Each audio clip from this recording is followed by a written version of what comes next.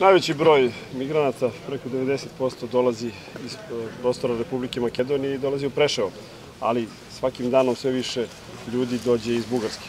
Zato smo se i organizovali, zato smo napravili ovaj prihvatni centar gde ljudi, baš kao i u Preševu i svim našim drugim centrima, eh, mogu da zadovolje sve svoje potrebe. Od toga da budu medicinski zbrinuti, da dobiju hranu, da dobiju smeštaj onoliko koliko im je potrebno i naravno da budu registrovani.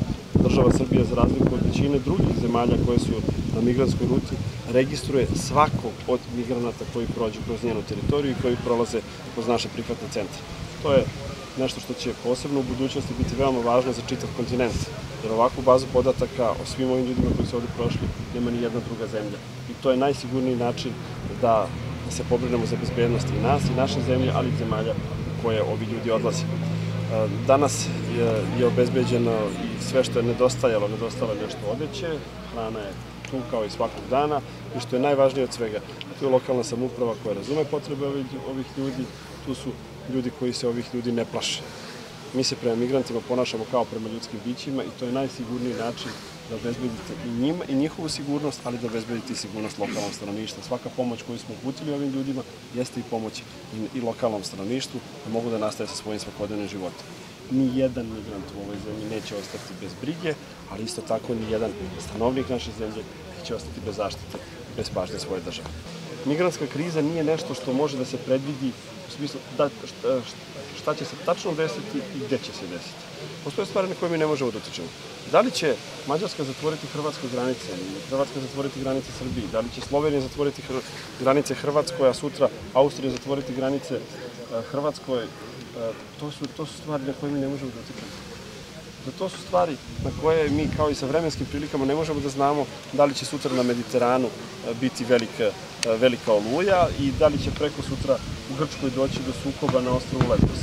To su stvari na koje ne možemo da utičemo. Ali možemo da utičemo na to da kad ovi ljudi dođu, da svi budu na odgovarajući način zbrinuti. Upravo zato, polazeći od naših iskustava koji se pokazali kao bez svake sumnje najbolji na tranzitnoj ruti, pravit ćemo i pravimo od sada više malih prihvatnih centara sa kapacitetom od 200-300 ljudi.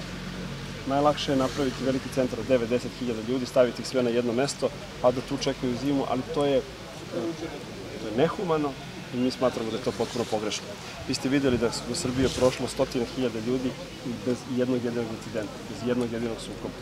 Zato što smo na odgovarajući način vodili njihovo kretanje i vodili računa o vremenu koje provode kod nas, gde se zadržavaju i da tamo gde se zadržavaju budu zbrinuti na najhumaniji mogući način.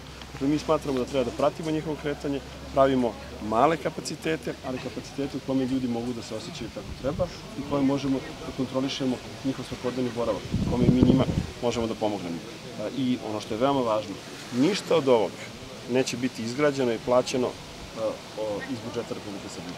To je novac donatora, to je novac koji mi prikupljamo i od Evropske komisije i od bilateralnih odnosa sa državama kao što je, na primjer, Norveška ili kao što je, na primjer, vlada Japana ili dobijemo od humanitarnih organizacija kao što je UHCR ili Crveni krst ili AJOM ili Rusko-Srpski humanitarni centar, ali to nije novac iz budžeta Republike Srbije.